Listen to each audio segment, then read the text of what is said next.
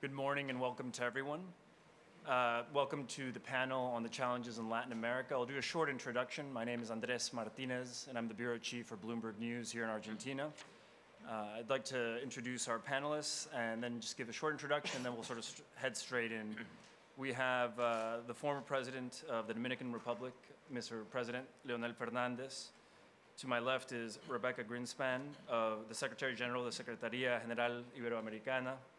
We have a uh, Ricardo Hausmann of uh, Harvard, I think you all know, uh, Felipe, Felipe Larraín, the former finance minister of Chile and professor, and we have Daniel Zovatto, um, the regional director for the Latin American for Latin America and the Caribbean of the International Institute for Democracy and Electoral Assistance.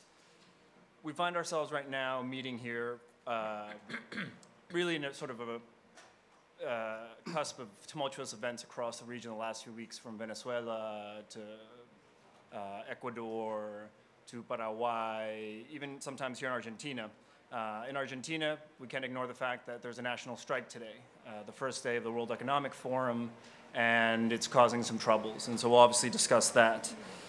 And the key here, I think, is to identify what the challenges are and figure out where we're headed for the rest of the year.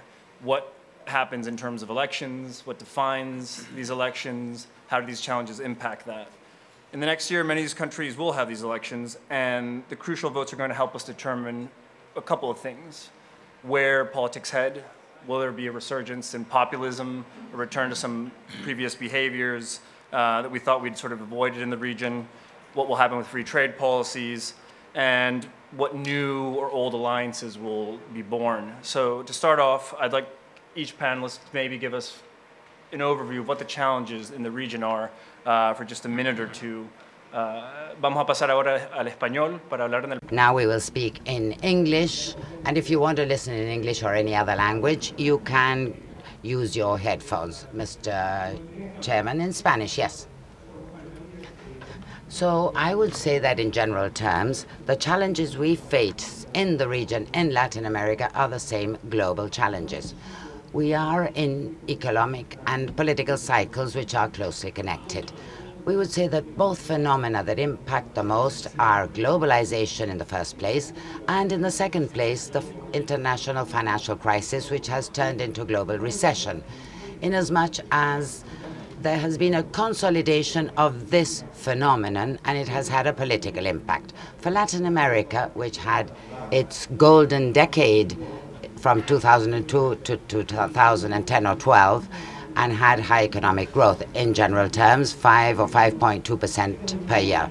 This has declined enormously. It has reached 0.5% due to the deceleration of the Chinese economy, which has had an impact on Latin American exports to that part of the world, a great dependence on exports of commodities, of natural resources, which will imply towards the future a diversification of economies in Latin America and the search for new export markets. So that situation of deceleration of Chinese economy impact an impact impacted the growth of South American countries and has generated discontent, discontent which is reflected in elections. So the most affected countries have lost the elections regardless of their economic cycle. Inasmuch as much as it has been possible to overcome the crisis, the electoral support goes down, but is maintained slightly. The most recent case, and the clearest one, is Ecuador. Ecuador, a decade of political stability, a decade where there have been important changes, a development of infrastructure, but the last two years with recession, the economy shrunk, there was certain social discontent, but as they are not on the brink of a collapse, it is difficult for the ruling party to win. They win on the second round, but that's the difference between collapse and a recession which has been managed. I will speak in headlines and I suppose we could talk about it afterwards. I believe the first challenge for the region is how to carry out the productive transformation at difficult times, a change that we didn't have in the boom years. How will we generate quality jobs for the most educated youth that we have ever had in the region when there is low international growth, and there is also the risk of protectionism, a new cycle of protectionism. And obviously, with the Industrial Revolution at our doorstep, which will save labor. That, I believe, is the first challenge. The second challenge is how to protect what we did do in the boom years, which is to reduce poverty and inequality. We see reversions. Seven million people have gone below the poverty line in the last and therefore we are losing what we achieved, and this generates important tensions amongst in society. The third challenge is the democratic challenge, which includes, in my opinion, the citizen security challenge, the, the issue of violence in our cities, and how institutions and the political system will come up to date to respond to society's demands. What is happening with corruption is the result of a society which is far less tolerant with corruption. It is more demanding with its political systems and institutions, and institutions are lagging behind society and I would say also behind the economy. And finally, nationally speaking, we have the environmental challenge the world has, which is a global challenge. And to conclude, I would say there are five points. The challenge of integration. Now, can, can we take advantage of this opportunity to have a far more integrated region? What do we do with um, lagging infrastructure to integrate? What are we going to do with the movement of people and talent in the region? Will we be able to give a qualitative leap to integrate further? Ricardo.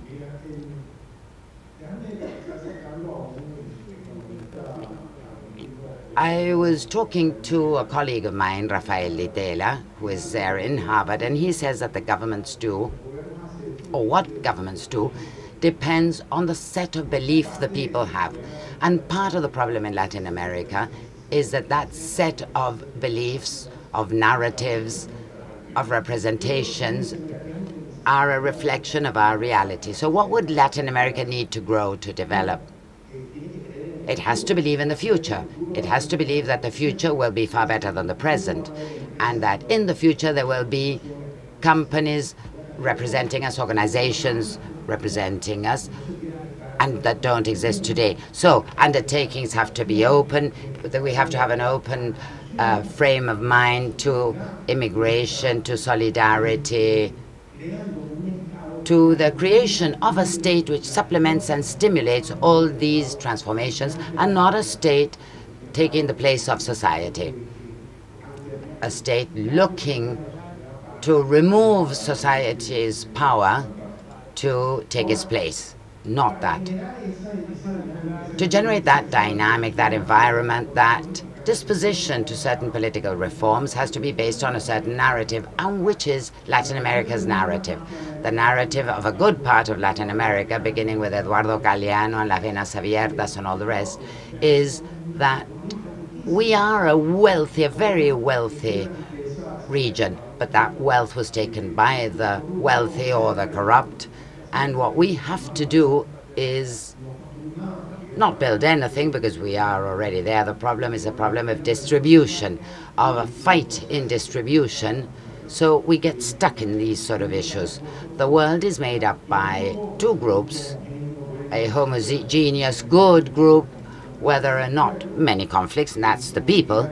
And as the people of Podemos say, and then we have the other group, the castes, and what we want to do is give all the power to the leader of the people so that he or she can protect the people from the castes or castes. And all these democratic formalities are an issue, a barrier, which prevents the leader from defending the people from all these tribes or uh, castes. So I am depressed about Latin America's reaction to Fidel Castro's death. Did you hear what was said about Fidel Castro? We know that the economic model was an absolute failure. It goes against uh, development and it is forced stagnation. But in Latin America's mind, it's he was a true leader who faced evil to defend the good people. And that attitude has been the attitude of Latin America with the catastrophe of my country, Venezuela, where we had to understand that this was a good leader of the people uh, who took the country to an unimaginable catastrophe only two years after the end of the largest oil boom in our history. So my feeling is that while we don't change our narrative, my Argentine story is that they are not poor people who are being dispossessed and and while we don't create a narrative that includes all of us as a nation, only then will we be able to come out of these difficulties. Daniel, yes, thank you, Andres. Good morning to you all. I would like to emphasize the following. At this precise moment in 2017, three important junctures come together.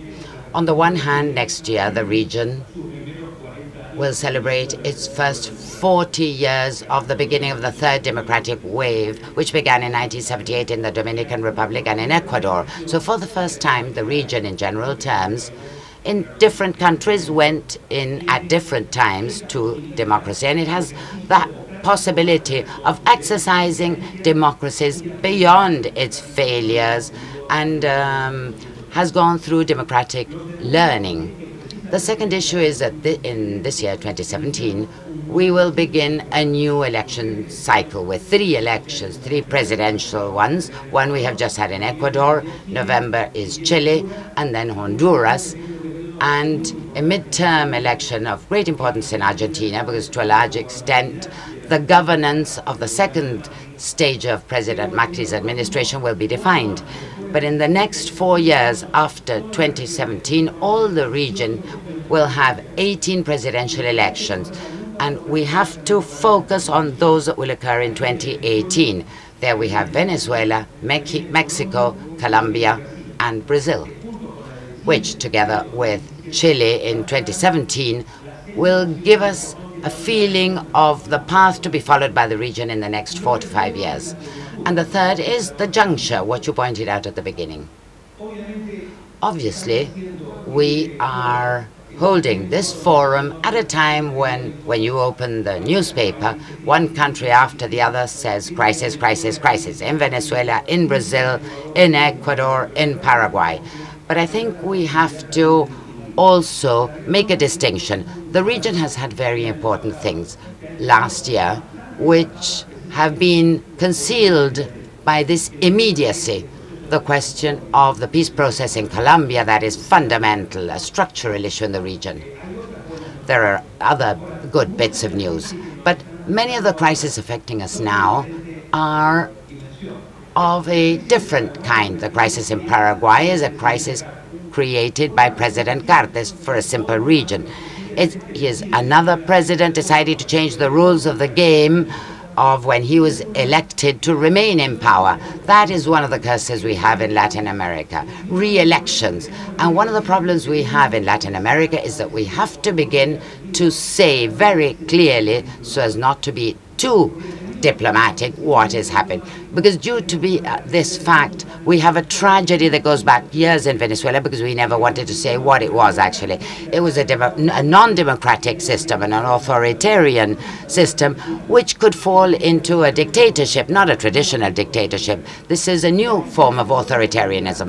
The crisis in Ecuador is a junctional one, and the opposition losing the uh, elections, and what happened was what happens all over the place. Uh, I will challenge the results. If the person's right, he will win, and if not, he will lose. So I believe the deep crisis in the region is the crisis in Venezuela, and I do think it, the crisis in Brazil is important, but we don't have to look at it only in terms of a crisis, but also in terms of opportunities. And I would like to close with the following. All identifications made of challenges and risks are shared by me but I also share the three fundamental risks which the World Economic Forum has identified for the region. And the first one, in which all executives have agreed on, are failures in governance. We don't have the institutions, as Rebeca said, nor the political leadership to face the new agenda, which is a middle class agenda and not a traditional one, such as in previous years. Another question is a deep um, instability, social instability. And the strike in Argentina shows it today, but it's not the only case. And the third has to do with unemployment and precariousness of jobs. We're not only going back in terms of poverty, there is an elephant, the white elephant, which is inequality and precariousness of jobs, especially among young people. Felipe, yes, good morning. A pleasure to be here. In the first place, I would like to express my solidarity towards my friend Ricardo Hausmann because of the situation in Venezuela. We are friends and colleagues, and our friendship goes back many years, and I have seen him fight for Venezuela. And within the tragedy lived in Venezuela, I, I'm happy that Venezuela is beginning to speak at the OAS and governments condemning the abuses of against democracy. And the way out, the exit, you know that's not easy at all. My first point is, in political terms, regarding the fact that, in my opinion, populism has gone bankrupt in Latin America, with the exception of the case of Ecuador, mentioned by President Leonel Fernandez. With the exception of Ecuador, all other countries, in all other countries, all populist rulers who have gone to or who have uh, voted or elected have lost. And in the Ecuadorian Ecuadorian case, there was election. We don't know whether they who won.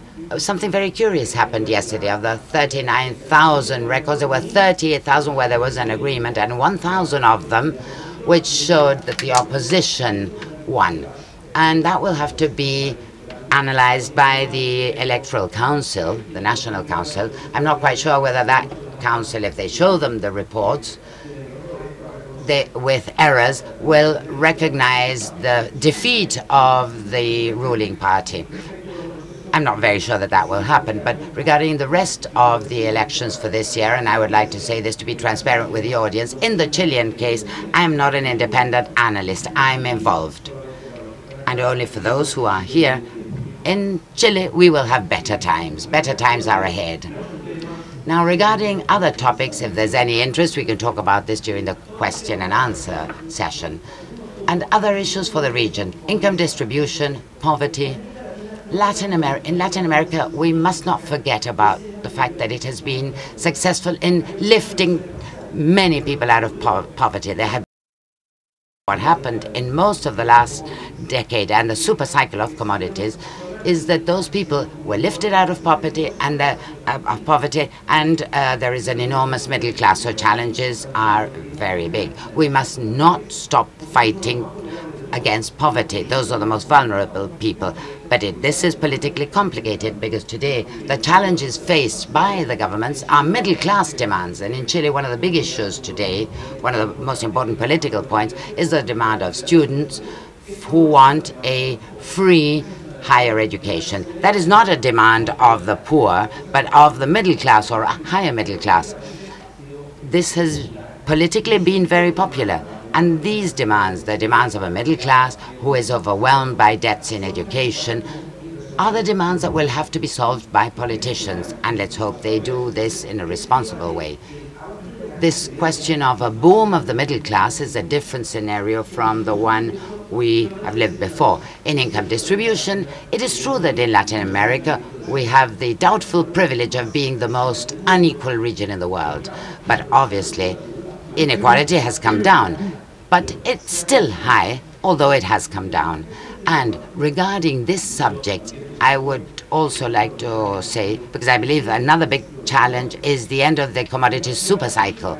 I believe that analyzing the region as a whole and say we're all affected in the same way is not quite so because it's a question of seeing what commodities you export. If you export oil and you depend 95% on oil, you're far more complicated than if you export another commodity. In my country, copper has fallen. We are uh, greatly dependent on copper, same as Peru, but we import 98% of our oil. So the analysis is a little more complex and differs from country to country. In, in Colombia, Colombia is quite the opposite of Colombia. What it has is oil. 50% of its exports are oil, and if we add to that coal and other minerals, it gets to 60%, and this has had a very strong in, um, impact. So, terms of trade have been quite different in all the countries.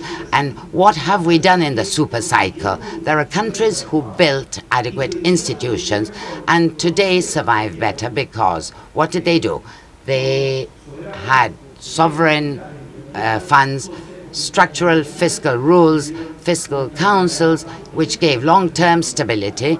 Say, autonomous central banks, those countries are in far better conditions than the ones who did not get these institutions. And what they spent, as Ricardo said, Venezuela, at the height of the oil boom, had a fiscal deficit.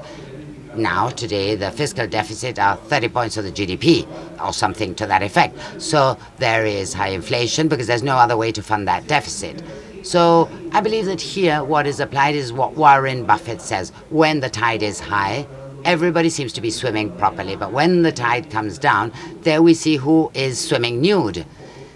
So this is what happens in Latin America. And the last point I would like to submit to discussion is what is happening with Trump. Trump and Latin America.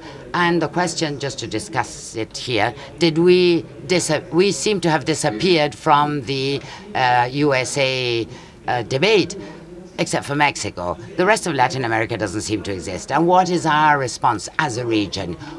We must not just wait and see what Mr. Trump decides to do the next day or what he tweets. I was very impressed as an economist when he said they said that one, at one night at 2 a.m. he woke up and called his national security advisor to ask him if a strong dollar was good or bad for the USA.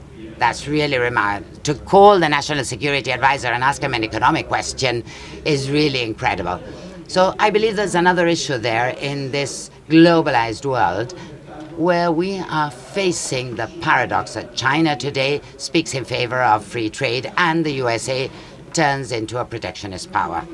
I believe one of the points underlined here is the question of institutions and what quality of institutions were created in the region in the last 10 to 15 years during this boom and the boom of commodities that has come to an end.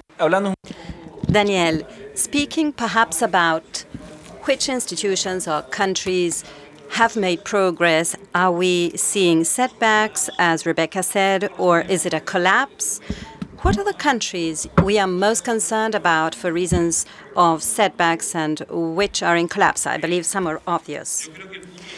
I think the key issue here is, as Larraín said, to look at the great diversity and heterogeneity in the region.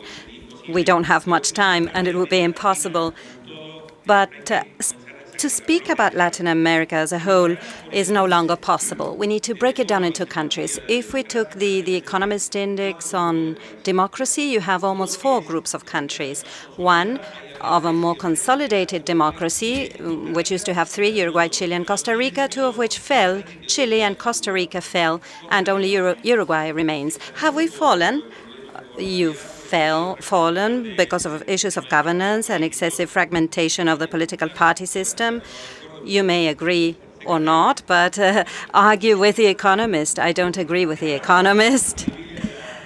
You can write uh, to the intelligence unit. I will do so immediately, and I'm sorry I've hurt your Tica uh, uh feelings, and Chile hasn't fallen either. Um, we have our issues, but it, they um, don't have to do with democracy, the democracy of the political system, because the index measures variables of the political system. Then there's another group, the largest group, of the so-called democracies in transition, or flawed democracies, uh, which include some 10 countries that differ quite greatly among them. And then there are the so-called or, or, rather liberal systems where you have Nicaragua or ALBA when you say populism lost everywhere. Unfortunately, in Nicaragua, Daniel Ortega is still under a clearly authoritarian system and falsely called democratic with a family dynasty now because he's put his wife on the ticket. So these are the issues we need to put on the table to clearly debate them. You have all of Alba, Honduras, Guatemala, Paraguay, and finally a rather authoritarian system, including Cuba. I do believe that our success over the past one decade and a half of uh, lifting more than 60 million people out of poverty and uh, bringing them into the middle class, and the fact that for the first time, uh, the 32% of people we have in the middle class, plus the vulnerable group, for the first time we have more people there than living in poverty, opens up a new society with a new agenda, one that I call a middle class agenda, which is requesting three things. Give me more public utilities, give me better quality public uh, utilities, and give them to me now.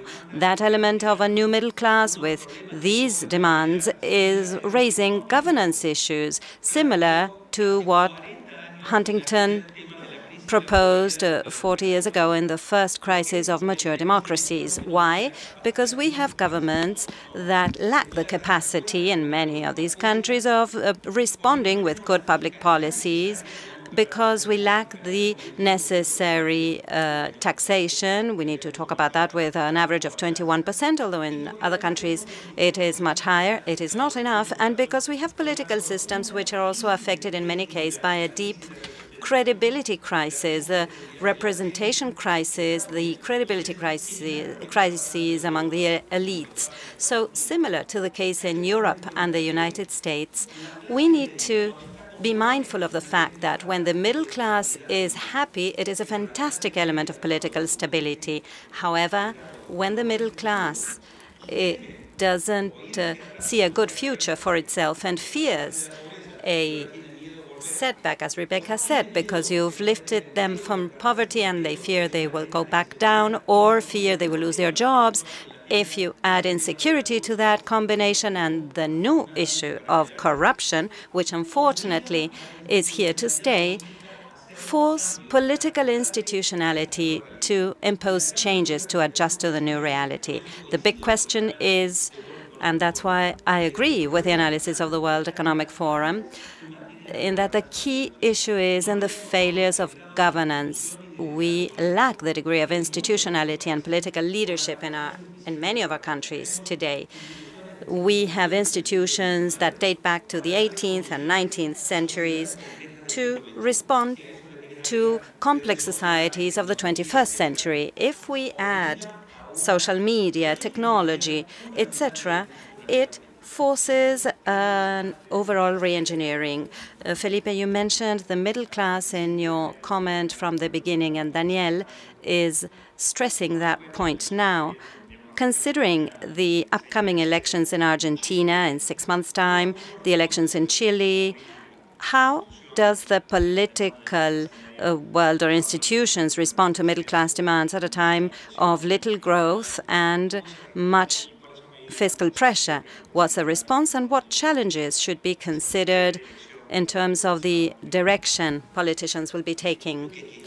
I think here lies one of the most important tensions in our countries currently middle class demands. It is a highly organized middle class now, quite uh, vocal, which uh, organizes itself and goes out to the streets. And there are governments, and I believe we need to distinguish between governments ruling for the streets and those who listen to the people on the streets, but uh, make their decisions uh, to benefit the well-being of the country. Let me give you an example. We've had a discussion which is a typical middle-class demand, a very deep discussion or debate on uh, free of charge uh, services. And the current government says, and it's funny because the president took office and when she stepped down as a candidate. And she says, I think it's not good to give education free of charge because we'll be giving it to the rich as well. But the streets demanded, and some of the students are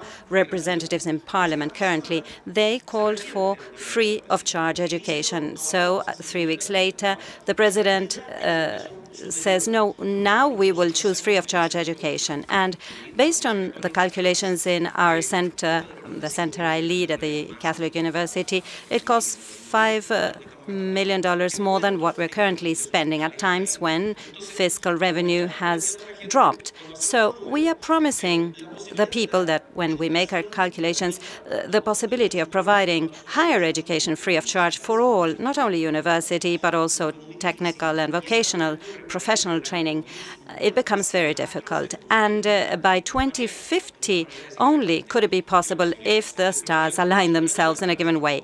It's another way of telling people I'm offering or promising free of charge education, but I can't provide it. And there are also demands in healthcare and other kinds of demands and from, from the public sector. So the government made an adjustment of zero in real terms to public compensation because somebody has to pay.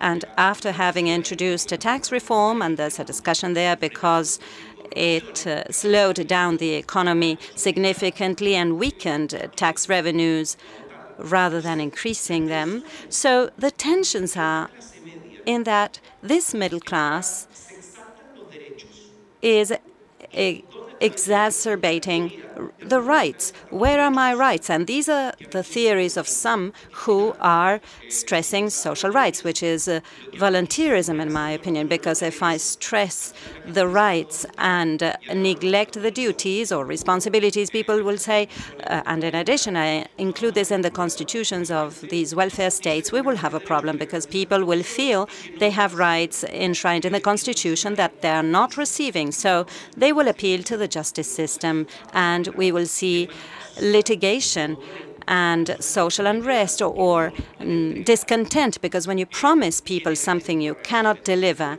this is a kind of reaction you get. So I believe it would be better, and the two options are one, telling people out there uh, that uh, you will provide everything they demand. But that's a recipe for future disaster, in my opinion. And the other one, because it's insatiable, and the other option is to um, work responsibly and tell the truth. Uh, and the risk there is losing the next election. And I would rather um, lose an election telling people the truth than uh, deceiving people by making false promises. Rebeca, you have a point, uh, two points. Firstly, when we speak about the cycle and who's losing and winning, actually, I think what's happening in Latin America and most countries, with the exceptions mentioned, is that there are democratic cycles. Neither the populists are always losing, nor the ones who did things right are always winning, right?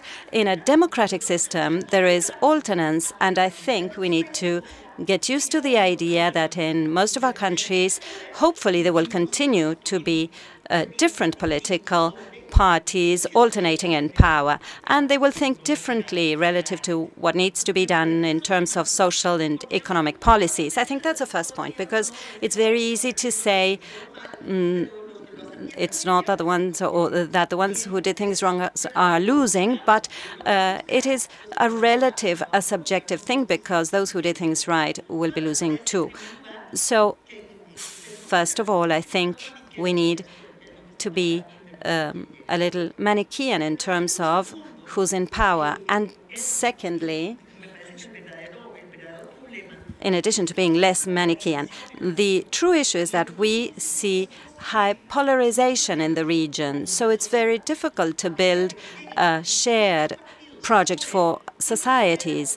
To, although there are different political parties taking office, we need to find some things on which we can have consensus in society that will take place or be implemented in the longer in the long term. And I believe we are lacking that. This long-term vision of society where all governments have sort of a backbone, um, but a, a common core despite their differences, is something we do not see. And that's where the future challenges lie.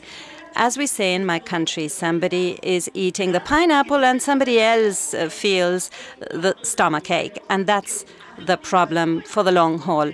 Governments are making investments now which they will not be uh, benefiting from until way into the future.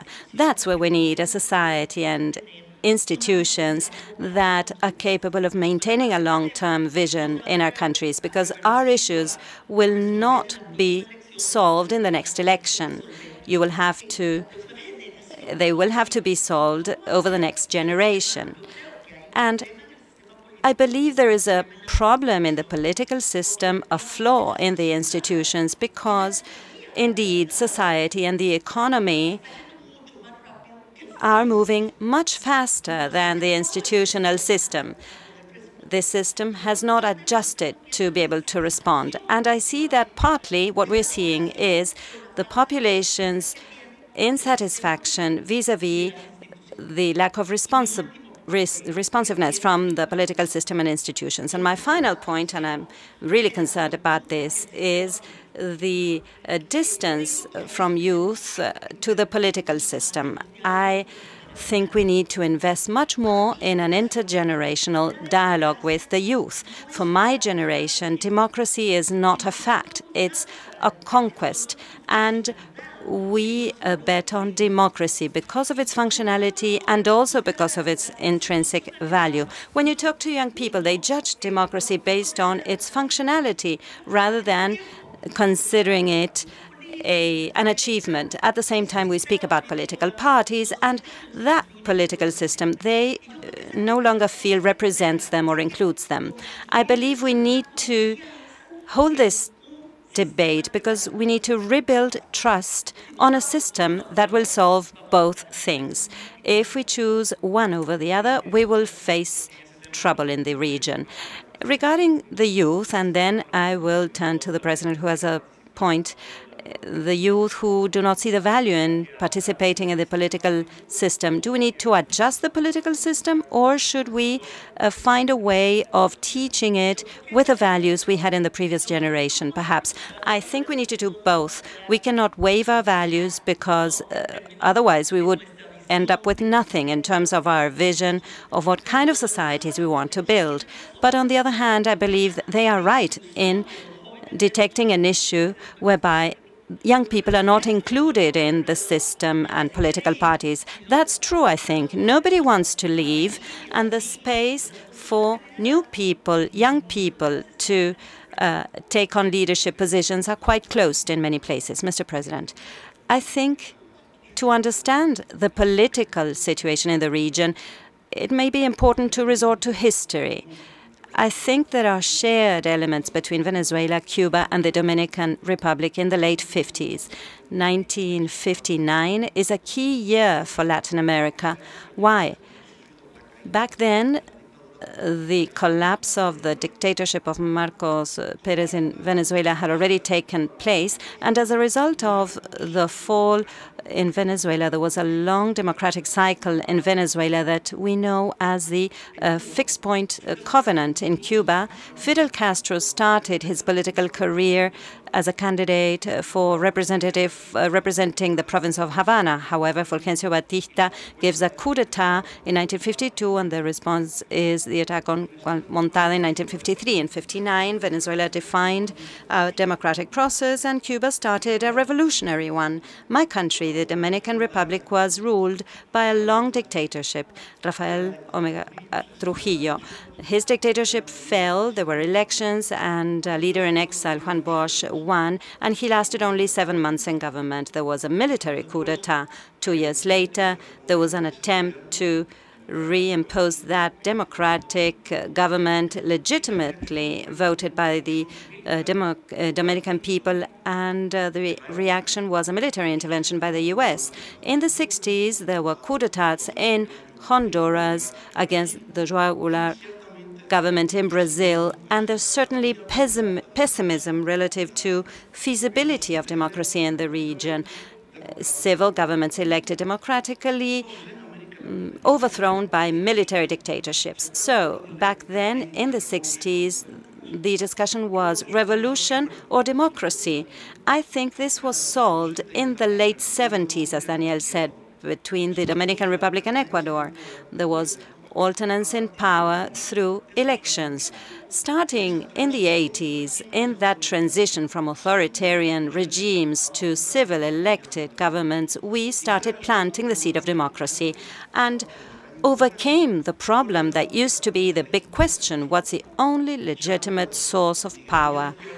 Um, it's not the left wing we're killing that with a peace uh, um, agreement in Colombia. The left wing guerrillas are not a legitimate source of access to power, neither are the right wing military. Uh, coups. So the only legitimate source of accession to power are elections, universal vote. And I think in the 80s we started that transition, uh, starting with the creation of independence. Now, within democracy, I think that has also created a significant mutation regarding institutions. I think, Daniel, there have been significant changes here, institutional strengthening based on the Latin American constitutionalism we've seen in the 80s. So we have seen a transformation from a model of representative democracies two models of participatory democracies. There was a consolidation of civil and political rights in those constitutional texts and an expansion of new rights. Felipe referred to the feasibility of delivering those rights because they're no longer political and civil, but economic, social, cultural, and environmental rights as well. And citizens are given the legal power to demand compliance with those rights through uh, appeals for judicial review. So judges need to determine the rights of citizens to social and cultural and economic entitlements. Another fundamental thing within a representative democracy changing to a participatory one is the direct exercise of democracy with institutions we didn't know, like plebiscites, referenda, Mm, revocatory referenda, not only in Venezuela, but in many other countries as well. And of course, those forms of direct participation which exist currently in Latin American constitutionality, which is a renovation for the region. And finally, in terms of the cycle, I insist historical cycles match economic and electoral cycles. Not only in Latin America, the impact of the global recession has triggered in Europe, for example, from 2008 until 2016, 17 elections, 16 governments of which have lost. The only ones who were saved was Angela Merkel, who faces a new electoral challenge. So the problem is who was in power when the crisis overcame. If it was the left-wing populism lost, if it was the right uh, wing, uh, those governments lost. So the global crisis created an alteration of the political system that reflected in electoral cycles. And in Latin America, to conclude, the boom of commodity prices matched the presence of left-wing progressive governments in Latin America, inasmuch as copper and oil and natural uh, gas prices were high, governments were re-elected. However, starting in 2014, a new era began, a new stage where the slowdown in the Chinese economy's growth from uh, 12 to 6 percent brought commodity prices down, and that reflected on the next elections. And now it's up to more conservative governments to be in power. So depending on the economic wind um, will be their possibilities to stay in political power. I think the president uh, made a good summary of the points we discussed here, and the most important challenge is how will that uh, translate into people's votes. And one of the most important issues Felipe mentioned um, relative to the middle class, Daniela and Rebeca, middle class demands and at the same time the high corruption in the region. We cannot overlook the uh, degree of the corruption scandals of Lava Jato and the impact uh, it has on countries like Brazil Peru, where we see stagnated projects because tenders have to be put out again. So, considering all of this, what's your vision for the upcoming elections and these factors uh, playing as a combination? Eh, Very well, let me answer in the following way. In the first place, I was impacted by what Daniel said on what the middle class says. Give me more, give me better, give me now. And what came to my mind was the Kennedy School statement. If don't ask what the country can do for you, but what you can do for your country. And which is the story of the how, the country that we are building. The country is built, but I have not be received from it. And Felipe mentioned this as well. Where is our homework? Here we have to go to a narrative which states that we want to build a country, a far better country than the one we have, so that our children and our grandchildren have something that we never got to see but we would like them to have. And how did we get that far?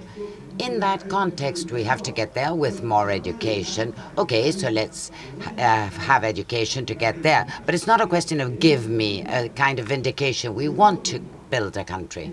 Second point elections? Well, I don't know. There were elections of the Legislative Assembly on December the 6th in Venezuela. Elections haven't changed anything at all. And let us assume that there are elections and Maduro wins.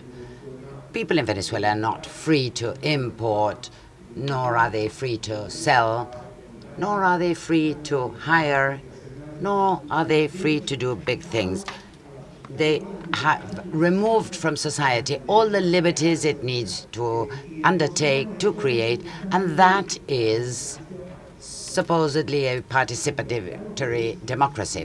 What it is, in fact, is an elimination not only of democracy, but also of the necessary freedom to create.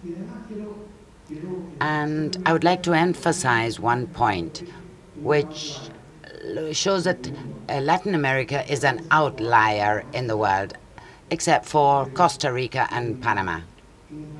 In the United States, 14% of the population is made up by foreigners. 30% of entrepreneurs are foreigners. Most Harvard professors are foreigners. In Canada, 25% of the population is made up of foreigners. In Australia and New Zealand, 25%. In Singapore, and everybody wants to compare to Singapore, 40% of the population is made up of foreigners. In countries like Mexico, 0.4% of the population is made up of foreigners. In Colombia, 0.25% of the population is foreign. In Colombia, there is one foreigner for every 400 people, in spite of the fact that there are 40 times more Colombians abroad than foreigners in Colombia. And when facing the possibility of absorbing all the Venezuelan talent which is returning to the country, they have created all kinds of hindrances and barriers. In Chile, one of the most difficult problems for the country is that they are getting full of foreigners and they're not that white. So there is an attitude in the region to close ourselves to immigration, and in even a, a popular um, demonstration uh, vis-à-vis the arrival of Venezuelans, in spite of the very generous support that the Re Dominican Republic has given to the Venezuelan dictatorship. But if we really believe we want to build a country, we have, will have to absorb the talent of the world, but that is not our legislation and that is not our attitude. I know that you all want to respond quickly, but I want to see whether there are any questions, and then I will allow you to answer. Don't answer just now. All I would like to do is tell you that what Ricardo says is very interesting, but if one makes a good analysis, you have to distinguish between supply and demand factors in terms of immigration. Why are there so many foreigners who come into the United States? You say 15%. Uh, they're a large number. They're trying to get into the United States. But the demand for migration is in the country, but there is also an attitude in the country of welcoming them or not. I'm, I don't see that in Chile we're worried about the color of the people arriving. But although the percentage of foreigners is low, have a look at the rate of increase of migration. Chile has the, one of the largest uh, rises in migration in the world after Germany, obviously, whose rate has increased enormously. We have an immigration law which our government submitted to Congress to encourage immigration, which was at a standstill. I don't see that attitude. There might be some sectors who feel threatened because immigration will always be a threat, especially in labor terms, for certain sectors. But the country's general attitude is a country of uh, welcoming migrants who want to make a contribution, not to those who want to enjoy the social security system. Regarding supply and demand, I believe the Venezuelan case is a natural experiment because now all of a sudden there's an increase in demand and we can see how countries react. In the case of Chile, it's true immigration in Chile has gone up significantly, and immigration policy in Chile is relatively open. What is closed is the labor market and regulations in many sectors. You know the case of physicians, of doctors who cannot register because the medical doctors in Chile don't want migrant doctors.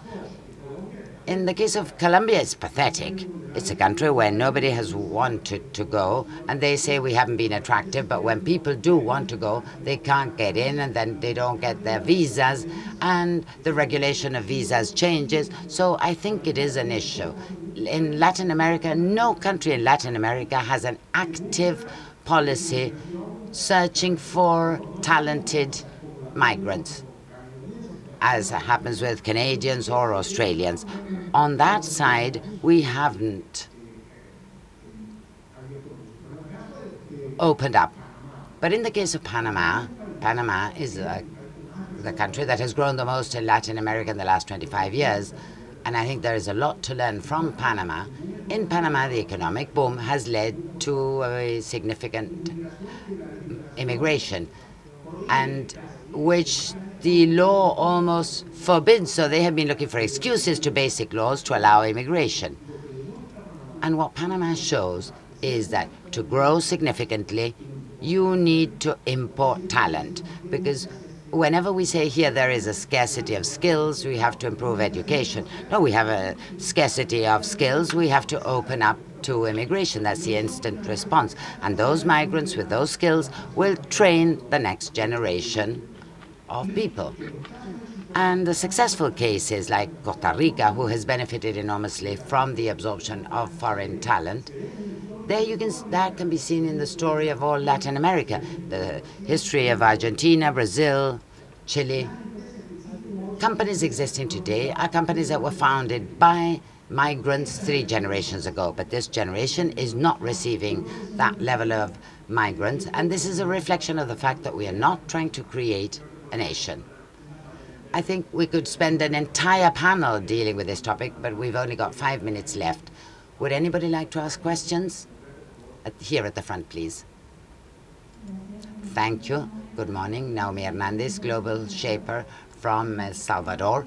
And I think that several issues have been dealt with, which I agree with entirely. One is a political class which wants re-election, who wants to remain permanently, and thereafter a third term in the same position. And also, I think our, generation has been called a generation with a lack of leadership, in the sense that we want to change, we are committed, but we don't believe in the system and how we see it work, because we haven't had examples of heroes doing the work, providing service.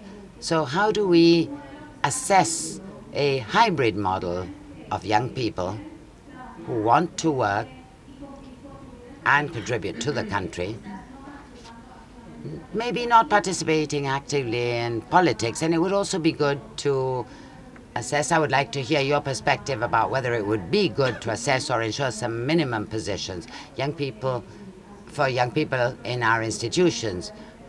Same, likewise with gender equality, to give women access. It would be good to do that in our institutions with young people as well.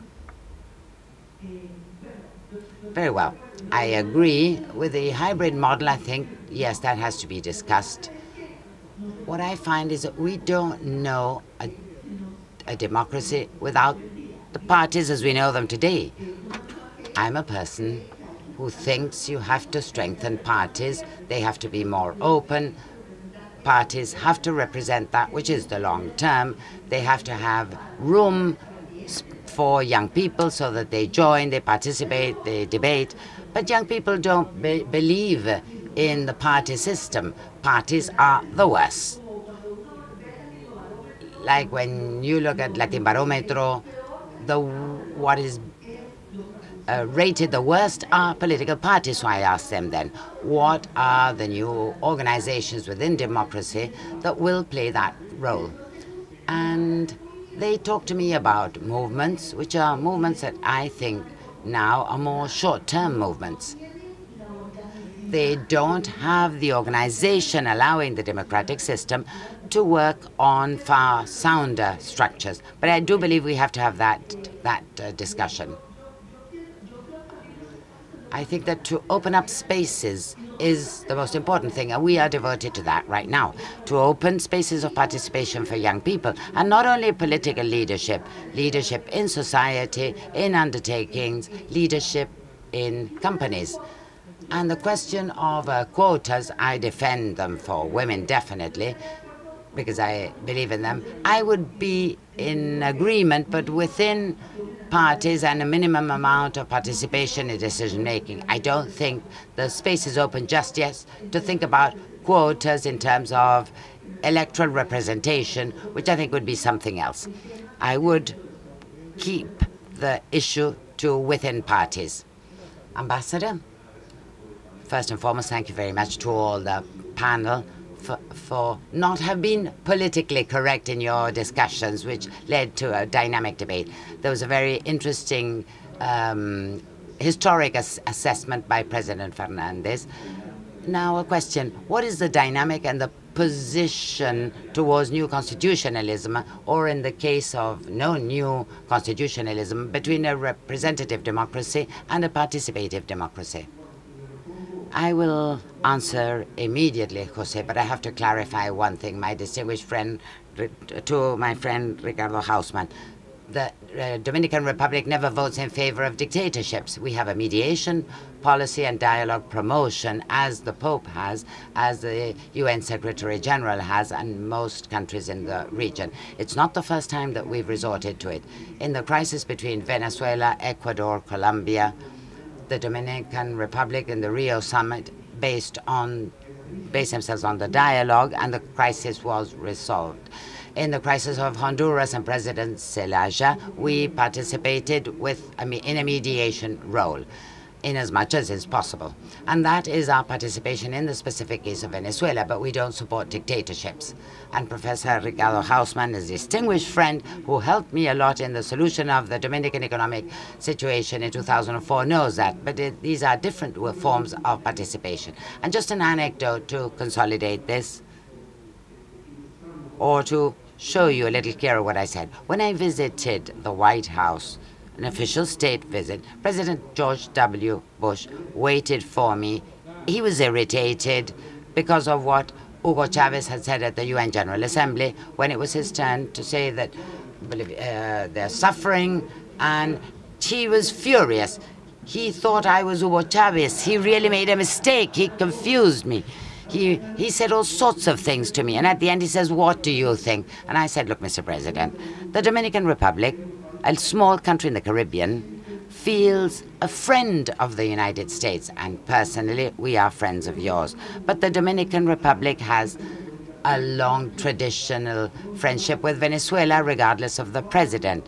the founding father of the Dominican Republic, lived in exile in Venezuela and died in Venezuela. We received aid from Romulo Betancourt, help from Romulo Caldera, also from Hugo Chavez. We are friends of Hugo Chavez, just as we are friends of yours. And as we have two friends, what we can do is give you the possibility to come together and we offer you the Dominican Republic as the scenario. Obviously, he laughed and the dialogue didn't take place, but the attitude, the role of a country with scarce population can play, uh, play is to act as an intermediary between friends who are fighting. So we don't support um, authoritarian governments or dictatorships.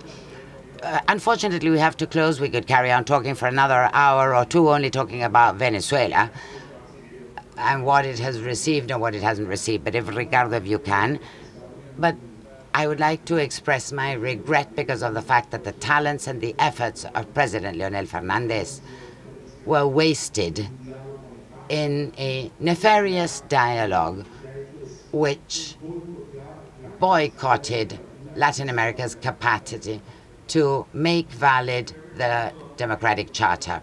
I think we will have to continue our discussion outside of the panel with this. I thank you all very much for this talk, which was very honest. And as the ambassador said, it was very rich, and I hope you enjoy it. Thank you very much.